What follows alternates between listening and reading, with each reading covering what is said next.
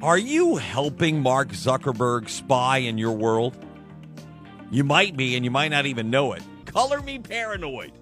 Yes, I am. New product out on the market. They're called Ray-Ban Stories. I call them Facebook glasses. They are they're glasses that are Wi-Fi capable. You can listen to music through them. They look just like Wayfarer sunglasses. They're Ray-Ban traditional Wayfarer sunglasses, but they've got all this technology in the arms, including a camera that can watch everything that you see. Okay? I just I don't know. I have a lot of trouble with it. It's uh it's a scary prospect to me. The whole Alexa thing that happened, I guess, a year or two ago when we realized we were being spied on. I think this is just the next step.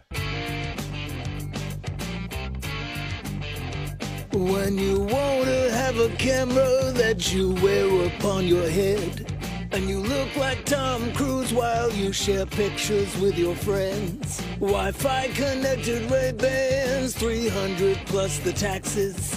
Then go get yourself some Facebook glasses. I don't think so. Oh no! Exactly. Oh no!